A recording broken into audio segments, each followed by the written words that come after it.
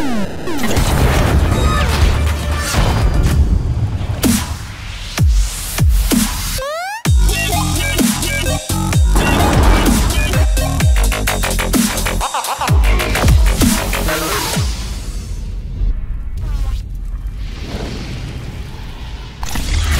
سلام به شما گیمرهای درجه یک که پای برنامه جویستیک نشستین. این هفته کلی آیتم جور و جور واسهتون آماده کردیم که فکر کنم خوشتون بیاد. اما یه آمار قبلش بهتون بدم.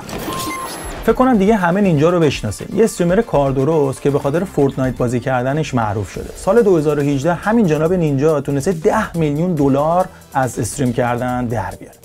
ضمنا یه حرکت دیگه ای که نینجا زده اینه که موقع سال نو توی میدون تایمز نیویورک واسه یه کلی مخاطب به صورت زنده Fortnite رو stream کرده که نشون میده این شخصیت چقدر محبوبه.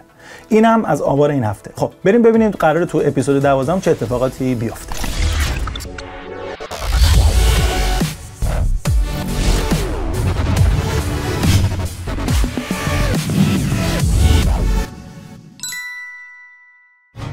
توی Buckshot این هفته قرار بریم سر وقت سه تا بازی که خیلی منتظرشون بودیم. نظرتون چیه که با Resident Evil دو remake شروع کنیم؟ بعد از 21 سال Capcom قسمت دوم Resident Evil رو بازسازی کرده و gamer ها می‌تونن یه بار دیگه به Raccoon City برگردن تا ماجراهای Leon و Claire رو از یه زاویه دیگه ببینن. نکته جالب درباره بازی اینه که دوربین روی شونه شخصیت اصلیه. دقیقا چیزی که توی قسمت چهارم هم دیدیم. کپکام می‌دونه که رزیدنت ایول دو چقدر واسه گیمرها مهمه و باهاش خاطره دارن. واسه همین هم هست که تمام انرژیشو گذاشته تا هم طرفدار قدیمی رو راضی کنه و هم گیمرهایی که بازی اصلی رو انجام ندادن ازش لذت ببرن.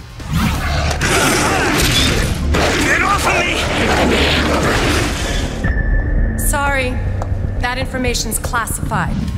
شما تو این بازی جای لئون و کلر بازی می‌کنید مکانیزم gameplay مثل سابق و یه سری زامبی که به شهر حمله کردن رو می‌کشین تا راهتون رو برای فرار از شهر باز کنین. محیط های تنگ و تاریک که توش فقط میشه با چراغ قوه راه رفت به جو ترسناک بازی شدیدا کمک کرد و سکانس هایی که قرار توشون jump scare بزنین خیلی زیادتر از قبل شدن. After you. Gee,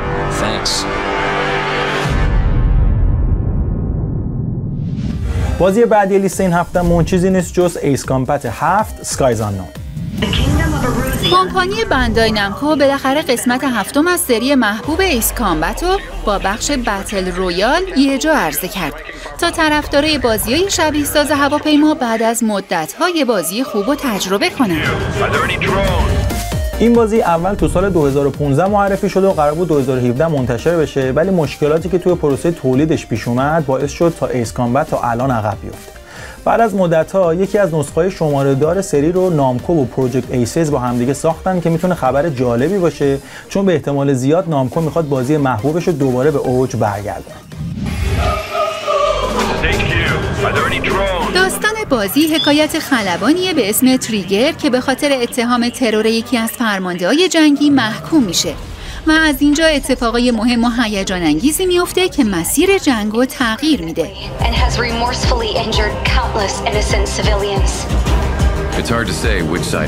این اولین باریه که سازنده ها سراغ آنریل انجین 4 رفتن و انصافا هم نتیجه کارشون عالی شده. افکت انفجار هواپیما خیلی خوبه و گرد و خاکی که روی دوربین میچسبه تجربه بازی کردن رو واقعی تر از قبل کرده.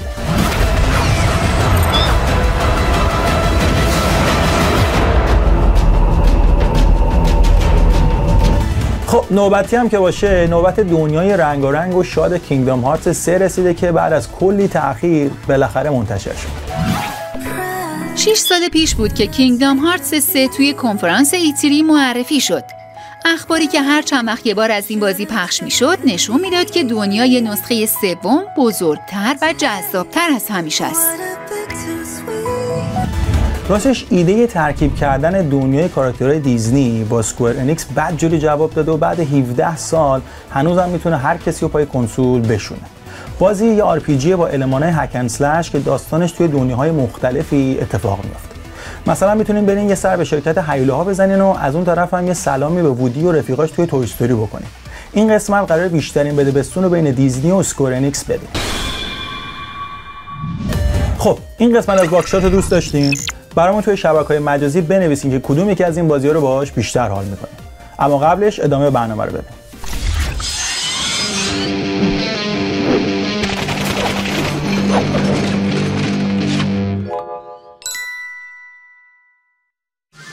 توی Hands-on این هفته رفتیم سراغ یکی از بازی های مهم انحصاری PlayStation 4 بازی که سال 2018 بیرون اومد و ساخته کمپانی Quantic Dream ه بریم با هم Detroit Become Human رو بررسی بکنیم You do the housework, the washing, you cook the meals, and you take care of Alice. My name is Connor. I'm the android sent by CyberLife. The company has allocated a specialized model to assist investigators. My name is Marcus. Just like you, I was a slave. Thank you, Marcus. Then I chose to open my eyes, to take back my freedom, and decide who I wanted to be. Now I have come to tell you that you can be your own masters. I've come to tell you that you don't have to obey them anymore. خب من الان میخوام یکی از چپترهای دیترویت رو براتون بازی بکنم بازی که کارگردان و نویسندش دیوید کیجه کسی که عاشق داستان سرایی و کلا کاراکترهای پیچیده و بازیایی که خیلی فوکسشون روی داستانه. بریم با هم این میشن رو با هم بررسی بکنیم. شخص شخصیتی که الان قرار باش بازی بکنیم اسمش کانره و یکی از سه تا شخصیت اصلی بازیه. کانر که یه دونه خودش مأمور پلیسه و دو نفر دیگه هم کارا و مارکوسن. نکته باحالی که داره اینه که هر سه تا کاراکتر رباتن و دنیا هم یه خورده علمی تخیلیه. و جای شهری هم که انتخاب کردم برای این بازی دیترویت آمریکاه. اگه در مورد دیترویت بدونی دیترویت یه شهریه که میزان به قول معروف کلا خشونت شهر خیلی بالاتر از بقیه جای آمریکاست و یه شهر جالبی می‌تونه باشه برای این قضیه. هدف این میشن اینه که شما برین و یه قتلی که تازه صورت گرفته رو بیشتر بررسی بکنید و کشف بکنید که چه اتفاقاتی افتاده و به عنوان یه کاراکتر همراه دارین میرین. اگه با کمپانی کوانتیک دریم آشنا باشین کمپانیه که خب چند سالیه برای پلی استیشن انحصاری کار می‌کنه مثل مثل Heavy Rain و Beyond Two Souls و الان خب Detroit ولی خب قبل از اونم یه بازی خیلی معروف داشتم به نام Fahrenheit که خب اسم دیگهش هم Indigo Prophecy ه یکی از بازیهایی بود که خیلی این کمپانی رو سرزبون انداخت. من خودم خیلی Fahrenheit همیشه دوست داشتم. خب یه خورده در مورد gameplay ش بهتون توضیح بدم. همون جوری که انتظار می‌رفت Detroit خیلی از لحاظ چالش gameplay شما رو درگیر نمی‌کنه. شما بیشتر درگیر مسائل adventure قضیه میشین که مثلا ببینید چه اتفاقاتی افتاده چه مثلا نکاتی رو می‌تونید توی یه صحنه قتل پیدا بکنید که به دردتون بخوره برای حل کردن پازلاش بازی از لحاظ کنترل سعی کرده که خیلی ساده و قابل فهم کار بشه که بیشتر شما درگیر داستان و اتفاقات دیگهش بشین. خب مثلا الان من دارم این کلا اجزایی که از این قتل هنوز مونده رو دارم بررسی می‌کنم ببینم چیا گیرم میاد.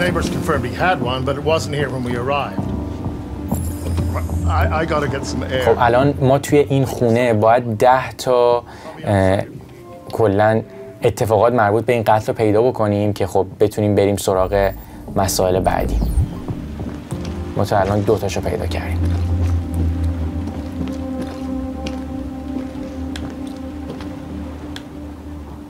بازی از لحاظ gameplay مثلا الان که من اینو باز کردم اینا اصطلاحشون QTE یا همون quick time event ه یعنی یه کار کوچیکی رو باید با توجه به کلیدا انجام بدین تا اتفاق بعدیش براتون رخ بده. خب الان مثلا می‌خوام این میز رو بررسی بکنیم. مثلا ببینیم که چیا داره. مثلا قراره یه دونه مثلا تیکت مربوط به یک رو پیدا کردش. الان میریم سراغ مثلا آشپزخونه. مثلا می‌بینیم که اوکی صندلی افتاده پس احتمالا یه درگیری رخ داده بوده. خب اثر انگشتش هم پیدا کردش. Chris, is this written in the victim's blood?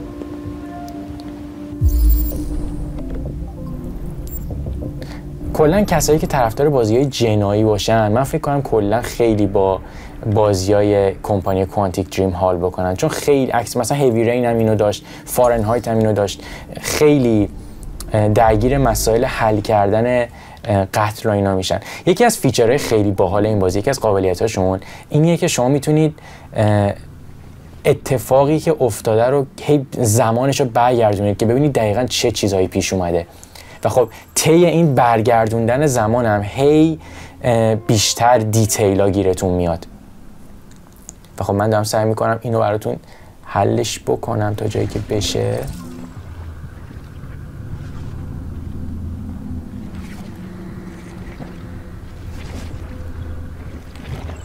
اوکی. خب الان پیدا کردیم که دلیل این که این اتفاق افتاده چیه؟ این خیلی باحال الان که تونستم اینا رو حل بکنم یه هولوگرامی میشه ازشون دید که اتفاقو ببینی چجوری مثلا قتل رخ داده. که مثل طرف اون چاقو رو برداشت و اینجوری اینو ناکار کرد. اوکی. خب. ما الان هی داریم بیشتر به قول معروف اویدنس گیر میاریم. خب الان شد پنج تا. Red ice. Seems our friend Carlos liked to party. Chris, I want full analysis on the narcotics. Consider it done, Lieutenant. یه مجله دیگه هم هستش یه اتفاقی کلا به خاطر اینکه دنیاشون رو علمی تخیلی در بیارن خیلی سعی کردن جزئیات هم روی همین منوال باشه و مثلا خیلی باحاله یعنی که به جای اینکه خب سفر رو بخواد به صورت حالت معمولی جابجا بکنه انگار حالت دیجیتالی داره همه چی و خب بازی هم تو س- انگار تو سال 2038 میلادیه که خب دنیا خیلی میکس شده با حضور ربات ها بریم یه سری چیزهای دیگر هم ببینیم چیا هستش.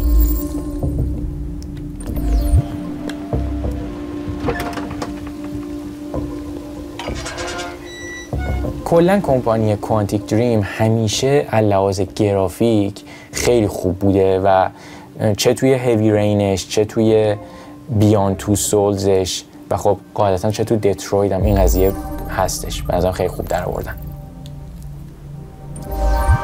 Door was locked from the inside. Killer must have gone out this way.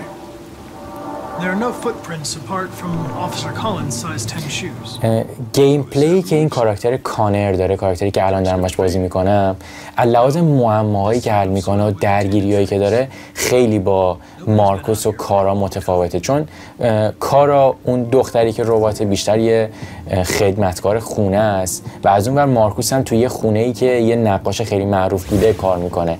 تنها کسی که درگیر مسائل جنایی میشه بیشتر همین کانره. بریم قاعدتا باید توی حالم یه چیزی باشه که بررسیش بکنیم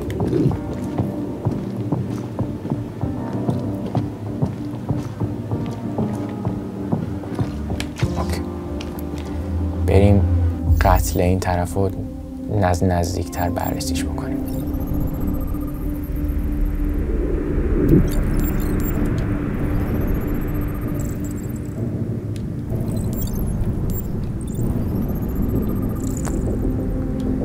خیلی مثل که زیادی چاقو خورده اوکی و حالا دستش هم بررسی بکنیم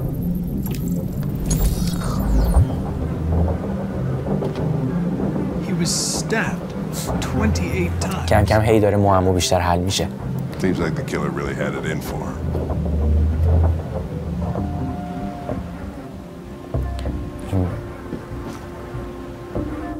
سر زمان اینم برگردونیم که ببینیم چجوری کشته شد.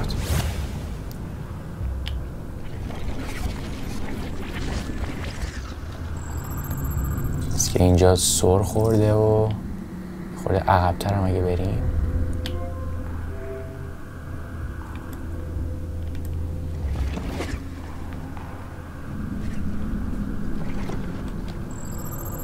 مثل که evidence باز بیشتر شد. okay. قتلش اینجوری رخ داده. فکر کنم با استایل و حال و هوای بازی بیشتر آشنا شدیم. بازی که gameplay ش همین حل کردن معماهاشه و خب اگه با استایل جنایی و اینام حال می‌کنین فکر کنم خیلی خوشتون بیاد. امیدوارم که با hands-on حال کرده باشین و اگه PlayStation 4 دارین و دلتون یه بازی انحصاری باحال می‌خواد Detroit رو امتحان بکنید. بریم سراغ بخش بعدی.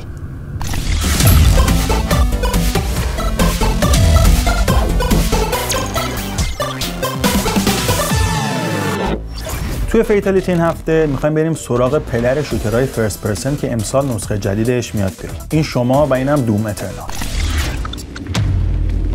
سال 2016 بود که reboot سری Doom طرفدارای قدیمی این بازی رو خیلی خوشحال کرد. سیستم gameplay سریع و بدون وقفه Doom هنوزم با گذشت زمان جذابیتش رو حفظ کرده بود. واسه همینم دو سال بعدش نسخه جدید با پسوند Eternal معرفی شد. شما تو این بازی مثل همیشه میریم به جنگ یه سری موجود جهنم. اصلا مهم نیست داستان می‌خواد چی بگه و با کی کار داره.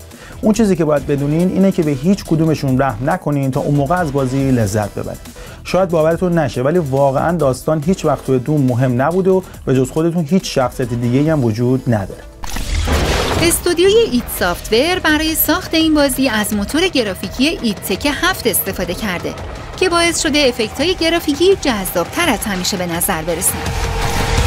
بازی first person مثل Doom باید frame rate بالایی داشته باشن. اتفاقی که توی نسخه reboot ش افتاد. کنسولا می‌تونن با 60 فریم Doom Eternal رو خیلی راحت اجرا کنن و نگرانی هم واسه افت فریم نداشته باشن. اینجا سرعته که حرف اولو می‌زنه. این بارم آهنگسازی Doom و قراره Mick Gordon انجام بده. پس منتظر شنیدن آهنگای متال با ضرب آهنگ بالا باشیم سازنده ها واسه این بازی یه سری اسلحه جدید ساختن که قابلیت کاستومایز کردن داره و میشه وسط جنگ خیلی سریع فرم اونا رو عوض کرد تا کاربریشون کلا تغییر کنه. سوپر شاتگان هنوزم هست اما یه فرقی کرده. اونم اینه که حالا میشه باهاش یه چنگک یا به قول سازنده ها میتوک شلیک کرد و بین دشمنا جابجا شد.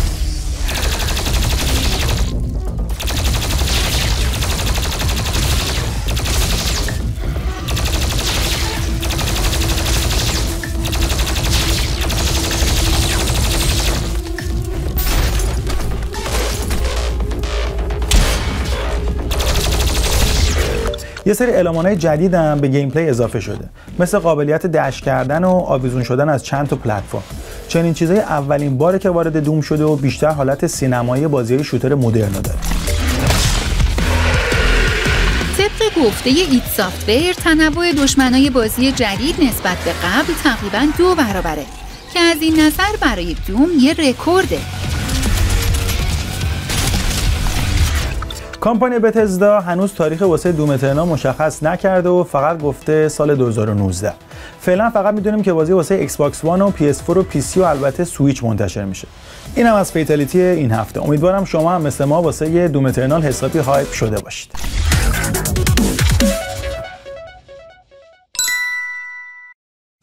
تو بخش Generator این هفته می‌خوایم بریم سراغ استودیویی که توش یه سری آدم نابغه دور هم جمع شدن و هدفشون صرفا سرگرم کردن gamer است. Platinum Games بعد از اینکه کمپانی Capcom تصمیم گرفت سال 2007 استودیوی خلاق Clover رو که بازیایی مثل Okami ساخته بود ببنده اعضای اصلی تیم تصمیم گرفتن تا یه استودیوی مستقل تأسیس کنن و به این شکل Platinum Games متولد شد.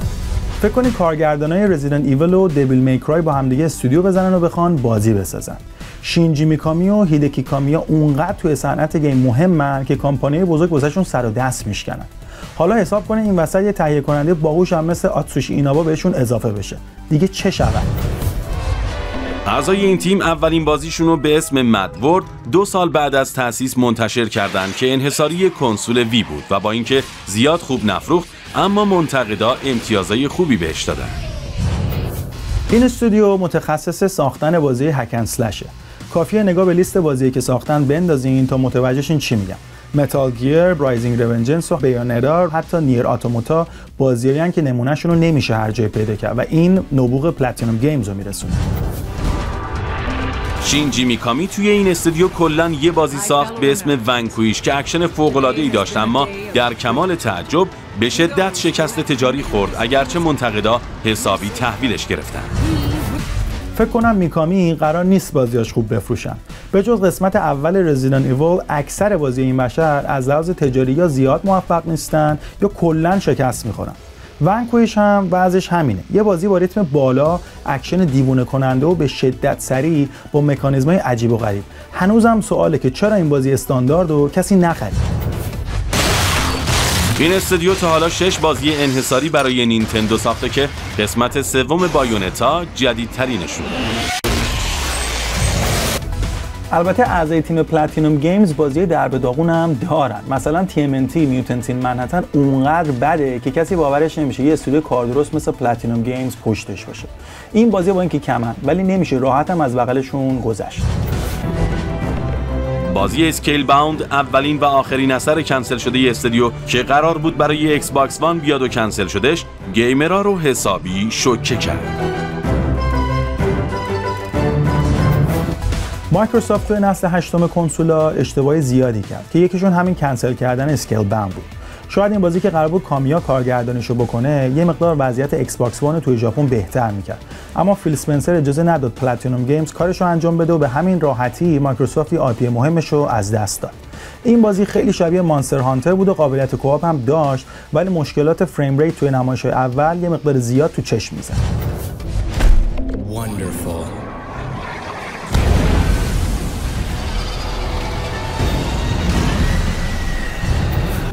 این هم از جنریتور این هفته. مرسی که با جویستیک همراهیم. بریم ادامه برنامه.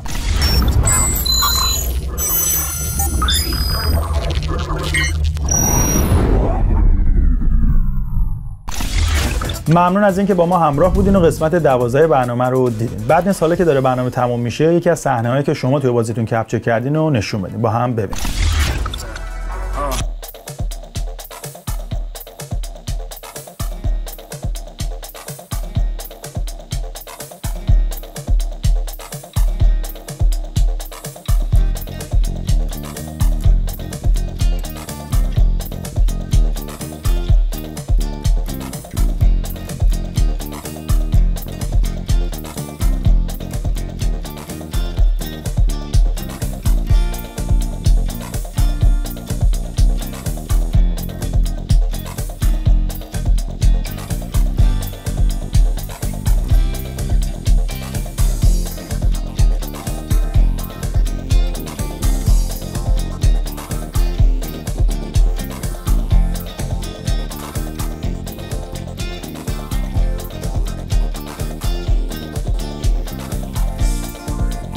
ضمنا اگه می‌خواین مثل الان ویدیوتون رو پخش کنیم کافیه که به چنل تلگرام ما بفرستینش یا تو اینستاگرام با هشتگ جویستیک جی سی به اشتراک بذاریدش. منتظر نظرات و پیشنهادتون هستیم. تا هفته دیگه و یه جویستیک دیگه خداحافظ.